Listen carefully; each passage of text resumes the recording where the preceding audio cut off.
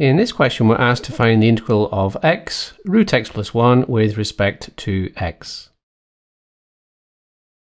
I'm going to start off by rewriting this root as a power. So we've got x plus 1 to the power of a half with respect to x. And then I'm going to say let u equal x plus 1. And obviously from that, we can actually define what x is. x will be u minus 1. So u minus x, so u minus 1, is equal to x. Differentiating this, we get du by dx is equal to 1, and therefore du is equal to dx. Now substituting these back into here, we know that x is equal to u minus 1, so I have the integral of u minus 1. And the x plus 1, well that's u, so it's going to be u to the power of a half and du is simply dx, so therefore we can just substitute in for dx.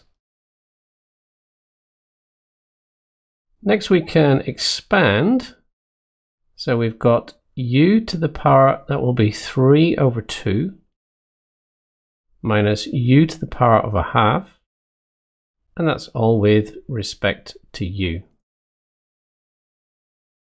Next step, let's do some integration. So we've got u to the power of 3 over 2.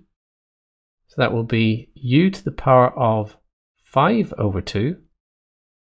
And then we're going to divide by 5 over 2. Well, that's the same as 2 over 5.